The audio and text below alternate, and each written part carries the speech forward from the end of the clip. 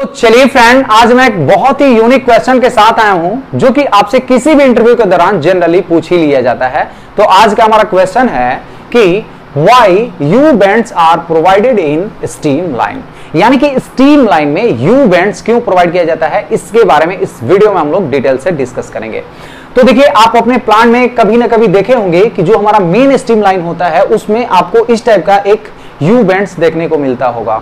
या अगर आपका बॉयलर और टरबाइन के बीच का जो डिस्टेंस है वो बहुत ज़्यादा होगा तो आपको एक से ज़्यादा ये यू बैंड्स देखने को मिलेगा। तो ये जो यू बैंड है, एक सर्टेन डिस्टेंस पर लगाया जाता है और ये क्यों लगाया जाता है, इसके बारे में इस वीडियो में हम लोग डिटेल से डिस्कस करेंगे। तो हमारे साथ बने रहिएगा, पूरे एंड तक वीडियो देखिएगा, बहुत ही इंफॉर्मेटिव होने वाला है। तो चलिए इस वीडियो को करते हैं स्टार्ट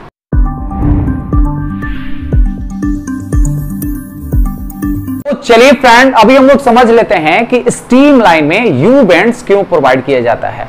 तो देखिए, मैंने यहाँ पे एक बहुत ही सिंपल सा डायग्राम बना रखा है, जो कि ये क्या है, हमारा स्टीम लाइन है, और यहाँ पे क्या है, हमारा यू बैंड प्रोवाइड किया गया है। उसके बाद हमारा जो स्टीम है, यहाँ से एग्जिट हो जाता है। मतलब यहाँ से हमारा स्टीम ट्रेवल करता है और ऐसे मूव करके हमारा यहाँ से आउट हो जाता है।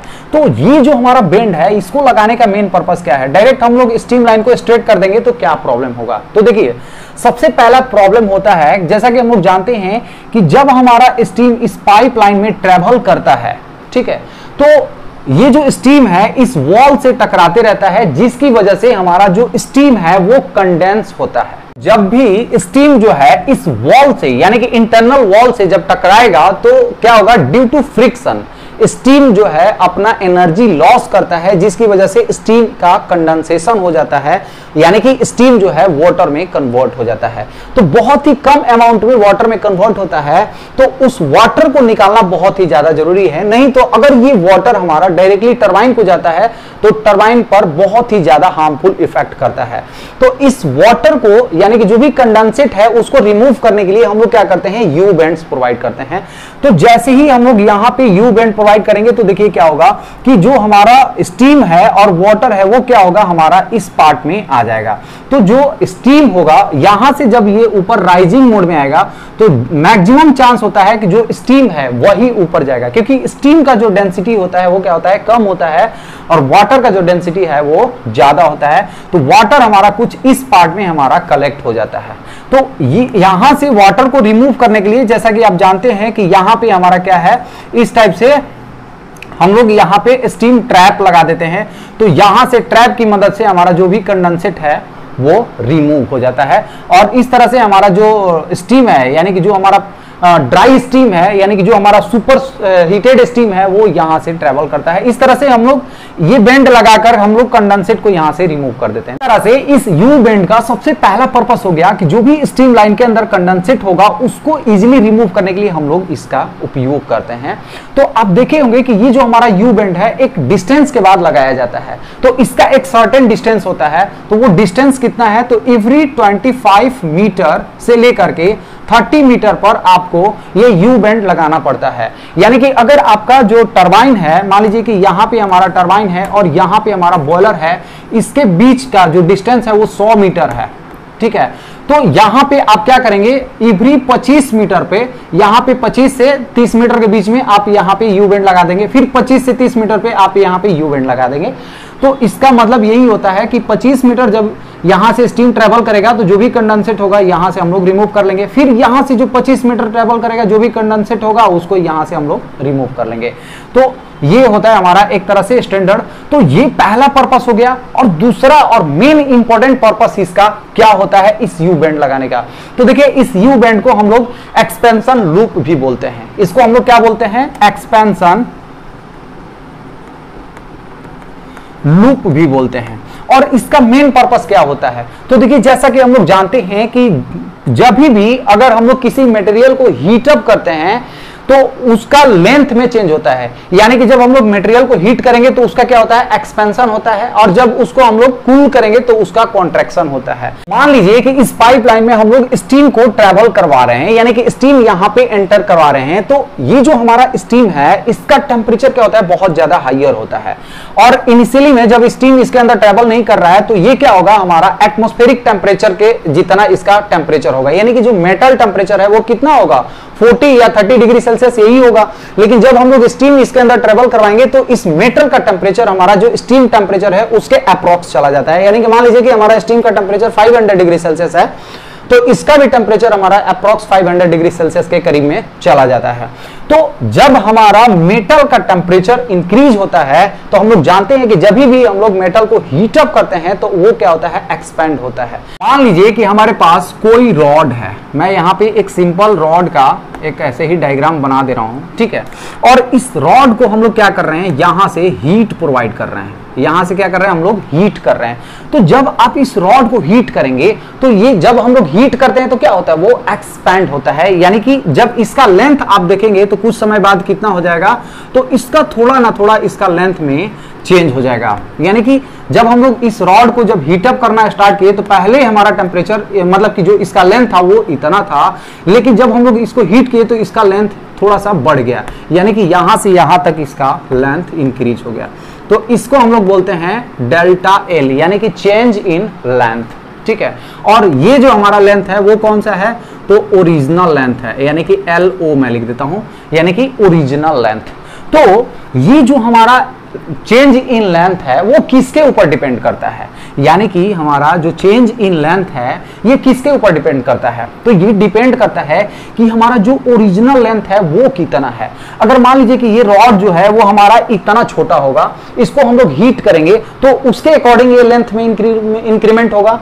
और मान लीजिए कि हमारा जो रॉड है, वो इतना बड़ा होगा तो इसका जो लेंथ है, इसके अकॉर्डिंग इंक्रीमेंट होगा। ठीक है? तो हमारा जो चेंज इन लेंथ होता है, वो डायरेक्टली प्रोपोर्शनल होता है हमारा ओरिजिनल लेंथ के। पहला।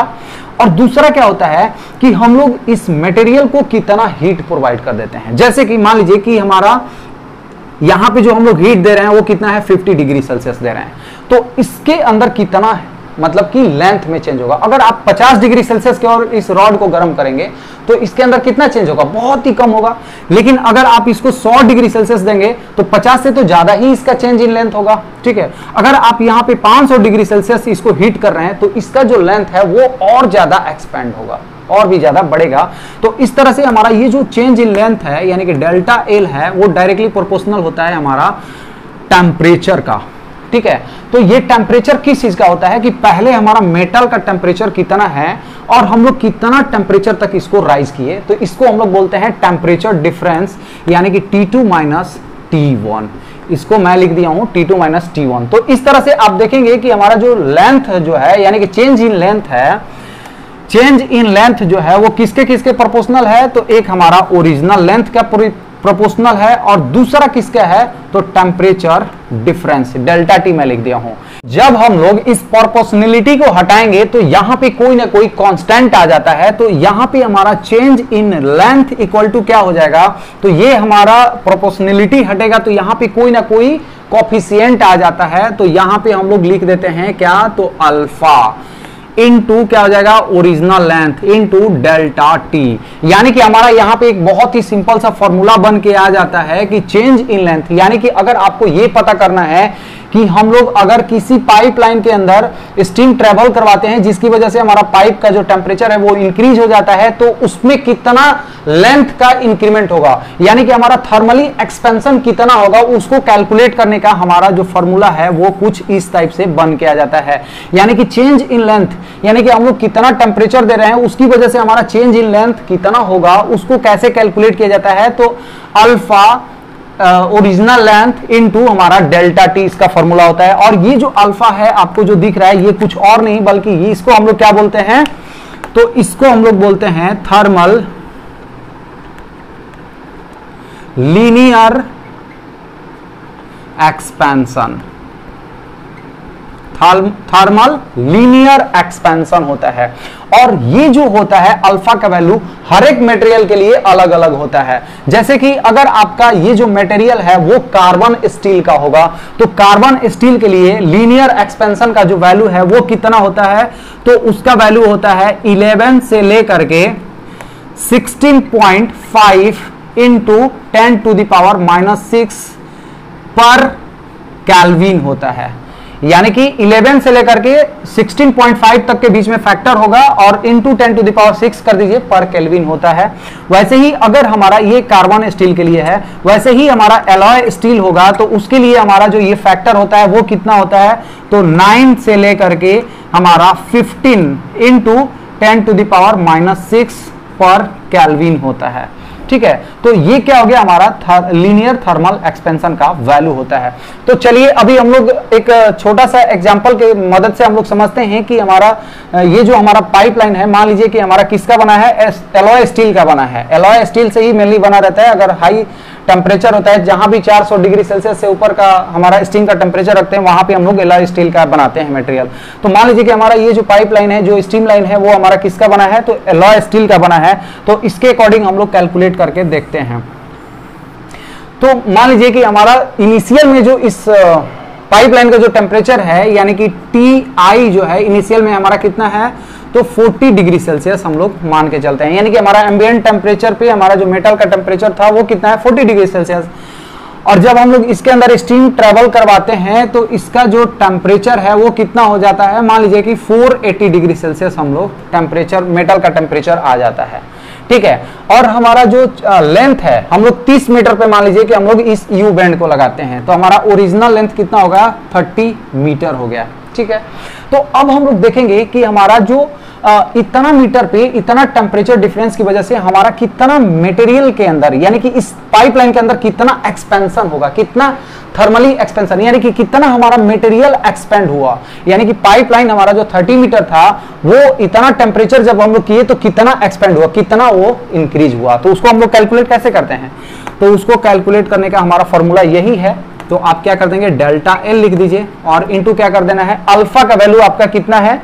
तो 9 से लेकर के 15 के बीच में आप ले सकते हैं। तो स्टैंडर्ड आप मान लीजिए कितना? मान लीजिए 10 मान लीजिए, ठीक है? 10 into ten to the power minus six into original length कितना है? तो 30 मीटर आप ले रहे हैं, ठीक है?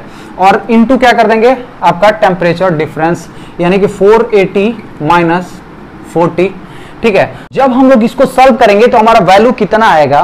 तो देखिए ये जो हमारा 10 into ten to the power minus six है, इसका मतलब क्या होता है? यानी कि जो हमारा थर्मल लिनियर एक्सपेंशन है, इसका मतलब क्या होता है? इसका मतलब होता है कि एक डिग्री सेल्सियस अगर हम लोग मेटल का टेम्परेचर बढ़ाते हैं तो हमारा जो मेटल है वो कितना एक्सपेंड होगा? वन डिग्री सेल्सियस में अगर हम लोग इस मेटल का टेम्परेचर वन डिग्री सेल्सियस बढ़ाते हैं तो इसका मेटल कितना एक्सपेंड होगा? तो अगर मान लीजिए nine into ten to the power six है माइनस सिक्स है, इसका मतलब क्या हो गया कि पॉइंट ज़ीरो ज़ीरो ज़ीरो, यानी कि point five time zero nine. इसका मतलब यही हो गया ना कि अगर हम लोग वन डिग्री सेल्सियस बढ़ा रहे हैं तो इसके according point five time zero और नाइन यानी कि इतना मीटर उसका लेंथ में क्या होगा? चेंज होगा। तो बहुत कम होता है। तो अगर हमारा 30 मीटर लेंथ है इस स्टीम लाइन का और इतना हम लोग टेम्परेचर डिफरेंस कर रहे हैं हम लोग वन डिग्री सेल्सियस का इतना हो गया तो इस, जितना भी हमारा टेम्परेचर डिफरेंस हो गया, उतना के लिए कितना होगा? ये पर मीटर में हमारा पर मीटर का होता है तो हमारा 30 मीटर में कितना होगा? तो जब आप इसको सॉल्व करेंगे तो आपको वैल्यू निकल के आ जाएगा। तो 480 सौ अस्सी माइनस चालीस, यानी कि 440 हो जाएगा इंटू थर्टी ये वाला, और इंटू टेन कर लीजिए। और डिवाइड में क्या कर देना है? Ten to the power six तो one two three four five six यानी कि कितना वैल्यू हो जाएगा? तो पॉइंट वन थ्री ये किसमें हो जाएगा? तो ये हमारा वैल्यू हो जाएगा मीटर में। यानी कि इवरी हमारा 30 मीटर में अगर हमारा इतना टेम्परेचर डिफरेंस होगा तो हमारा जो मटेरियल है, वो कितना एक्सपेंड होगा? यानी कि ये जो हमारा स्टीम लाइन है, वो कितना एक्सपेंड होगा? तो point one three metre expand होगा। इस पैरामीटर के अकॉर्डिंग हमारा जो पाइपलाइन है, वो इतना मीटर एक्सपेंड होगा। तो मान लीजिए कि ये जो हमारा पाइपलाइन है, वो एकदम स्ट्रेट रहेगा। एकदम पूरा स्ट्रेट रहेगा। अगर हम लोग इस स्टीम लाइन को एकदम स्ट्रेट रखते हैं तो ये जो हमारा चेंज इन लेंथ हुआ है यानी कि हमारा टेम्परेचर डिफरेंस की वजह से जो हमारा चेंज इन लेंथ हुआ पॉइंट वन थ्री मीटर यहाँ पे हमारा एक्सपेंशन हुआ है वो एक्सपेंशन कहाँ पे जाएगा? तो वो क्या करेगा? इंटरनल स्ट्रेस प्रोड्यूस करेगा जिसकी वजह से हमारा जो मटेरियल है वो आ, मतलब कि फेलियर भी हो जाएगा। क्योंकि हमारा एक्सपेंशन होगा लेंथ तो चेंज हो रहा है लेकिन हम लोग यहाँ पे क्या किए हैं? फिक्स किए हैं। इधर भी क्या है? हमारा फिक्स है। तो ये क्या करेगा? हमारा पाइपलाइन को ऐसे बेंड भी कर सकता है। जो भी हमारा लेंथ में चेंजेस आ रहा है उसको अगर हम लोग आ, मतलब कहीं ना कहीं रास्ता नहीं देंगे तो वो क्या होगा? वो बेंड हो जाएगा कहीं से फेलियर हो सकता है। तो इस चीज़ को अवॉइड करने के लिए हम लोग जब यू बेंड लगा देते हैं तो मान लीजिए कि जब हमारा यहाँ तक लेंथ में हमारा 0.13 मीटर अगर लेंथ में इंक्रीमेंट भी हो रहा है इस टेम्परेचर डिफरेंस की वजह से तो ये जो पाइपलाइन है वो क्या होगा? थोड़ा सा हमारा इधर चला जाएगा या थोड़ा सा इधर चला जाएगा। तो ये ऐसे दब जाएगा यानी कंपनसेट हो जाएगा। यानी कि जो भी हमारा ये टेम्परेचर डिफरेंस की वजह से लेंथ में चेंज हो रहा है उसको ये कंपेंसेट कर देगा। तो इस तरह से हमारा सबसे इंपॉर्टेंट जो काम होता है वो क्या है? हमारा एक्सपेंशन लूप का कर, काम करता है। जो भी हमारा थर्मली एक्सपेंशन होगा उसको ये एब्जॉर्ब कर लेता है तो ये इसका मेन दो पर्पस है और ये हम लोग थर्मल एक्सपेंशन जो है, वो कितना होगा उसको निकालने के लिए हम लोग का जो फॉर्मूला है, वो कुछ इस तरह से है। ये हमारा कार्बन स्टील का जो फैक्टर है और ये हमारा एलो स्टील का फैक्टर है। तो ये हुआ ऑल अबाउट उम्मीद करता हूँ आपको समझ में आ गया होगा कि स्टीम लाइन के अंदर हमारा ये यू बैंड क्यों लगाया जाता है। अगर मेरा वीडियो आप लोग को अच्छा लगा इन्फॉर्मेटिव लगा तो प्लीज़ मेरे वीडियो को लाइक कर दीजिए। अगर मेरे चैनल पावर पॉइंट डिस्कशन में नए हैं तो प्लीज़ मेरे चैनल को सब्सक्राइब कर दीजिए। तो चलिए friends thank you thank you so much